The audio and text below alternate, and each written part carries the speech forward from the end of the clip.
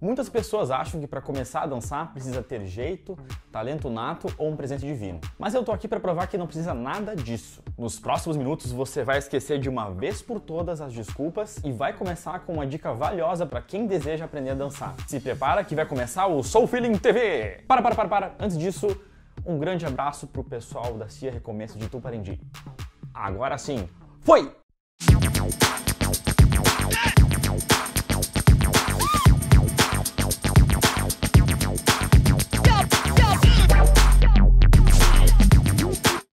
Eu nasci em berço de rock e do esporte. Desde criança ouvi Legião Urbana, Guns N' Roses, Metallica, Red Hot Chili Peppers e joguei futsal, vôlei e basquete. Fui contra todas as probabilidades segundo o ponto de vista de muita gente que dança. O de que precisa ter jeito ou nascer para isso. Na real, eu vim de fora da cultura e a cultura me abraçou. Tendo passado por essa experiência para começar a dançar, a primeira coisa que eu posso dizer que é importantíssimo para começar a dançar é se habituar e gostar da música. Chame como quiser, mas rap, hip hop, R&B, breakbeat, funk original, house, Miami bass e até outros estilos que se aproximaram das danças urbanas ultimamente, como dubstep, trap e até funk carioca, por exemplo. Você pode até começar a dançar pela técnica e pela estética do movimento, mas posteriormente vai ter que fazer o caminho inverso e começar a descobrir a dança ou seja, o feeling ou sentimento de dançar dentro do movimento. Meu Deus, Zero, do que tu tá falando? Bom, o ato de dançar, como eu já disse em um vídeo anterior, é se divertir movendo-se através da música. Na história da humanidade, a dança teve e tem sim outras abordagens, como religiosa, ritualística, entre outras.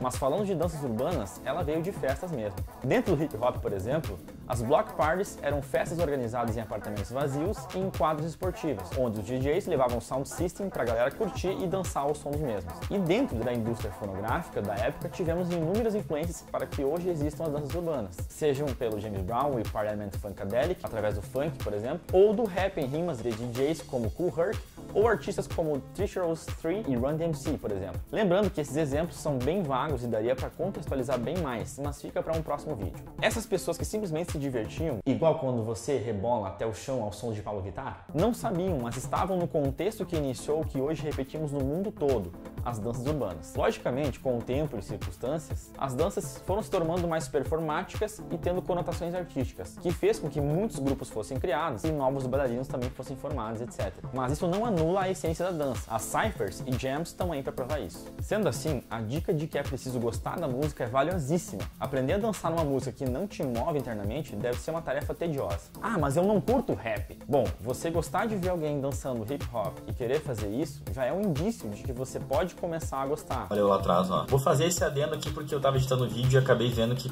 parece que eu tô querendo dizer que você precisa, obrigado gostar de rap para você dançar danças urbanas. Não é isso, tá? Entendendo o contexto de danças urbanas, entendendo onde ele nasceu, onde ele se propagou e com quais estilos musicais, você vai é, provavelmente querer também se inteirar nisso e vai ter vários artistas de hip hop artistas de rap que você vai querer conhecer, logicamente. Os artistas que contribuíram musicalmente para o contexto, entenda o contexto do que eu estou falando, porque senão fica meio estranho, certo?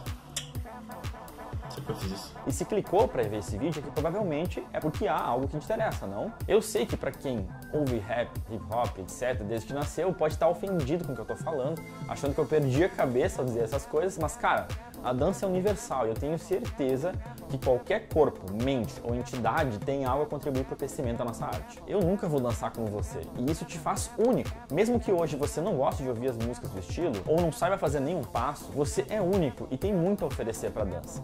Basta começar a praticar e jamais desistir. Vou deixar aqui algumas dicas de artistas para você pesquisar as músicas para já começar a atualizar a playlist do celular ou do Spotify, que, Spotify, Spotify que seja, ou até relembrar caso já os conheça conheça e faça tempo que não curta eles. Ouça as músicas, dance sozinho no seu quarto, filme você mesmo dançando, tente imitar outros dançarinos. Ai, mas não pode copiar ninguém. Mano, a esmagadora maioria começou a dançar por causa do Michael Jackson, e Moonwalk era sagrado. Então, menos. E para você que pensa isso, indico o livro Coube como um Artista. Até farei um vídeo sobre isso mais pra frente, então, por enquanto, se joga! Lembrando que essas são as minhas experiências e que cada sujeito tem uma vivência e realidade, sendo impossível sobrepor a minha sobre as tuas ou a de qualquer outra pessoa. Se você, como eu falei antes, acha um absurdo alguém querer dançar e não gostar da música, saiba que socialmente, e não só socialmente, Somos seres mutáveis e podemos aprender a nos habituar a muitas coisas inatas ou até experienciadas ao longo da vida, sem preconceito com coleguinha, hein?